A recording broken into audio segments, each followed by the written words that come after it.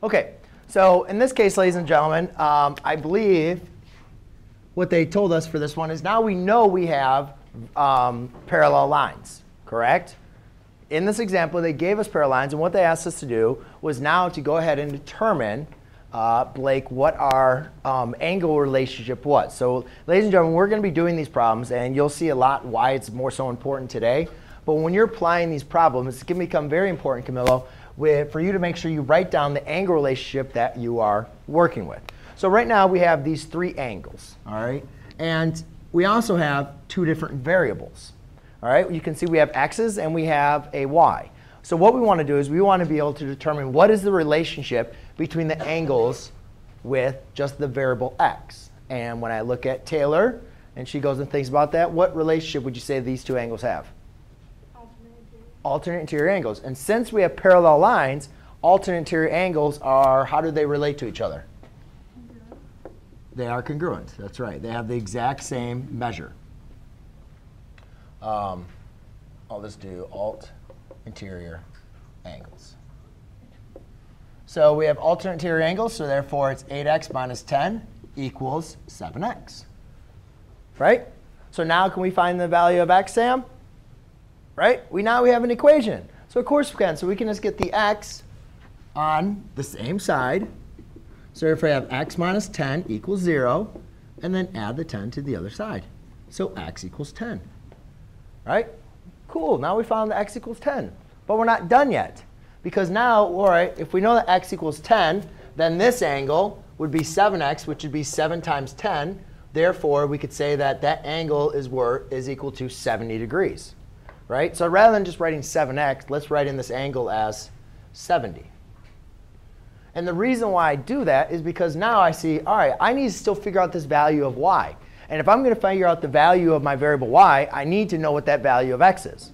So then I go and look at Mario and say, Mario, these two angles, how are these two angles related to each other? They're on the same line. Well, they create a they create a line too, right? So what was that angle? How did what definition or um, what vocabulary did we have when we had two angles that created a line made up there right next to each other? Do you remember? Kaylee? You remember? No? Uh, well, they don't have to do with anything on parallel lines. They make up this parallel line. Asia, do you remember? How are these two angles related to each other?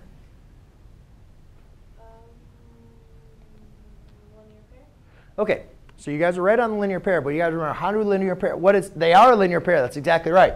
They are um, they make up a line.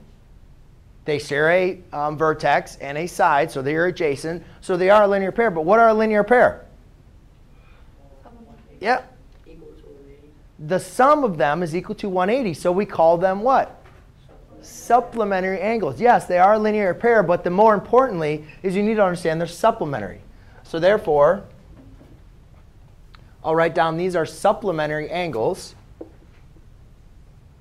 Therefore, I know that the sum of 6y plus 20 plus 70 equals 110 or 180 degrees. Does that make sense? Okay? No? Where did I lose you? You don't understand how these are added to 180? These two angles, the sum of these two angles add up to 180. So they're supplementary, so we add them up to equal to 180. These two alternate interior angles are equal to each other.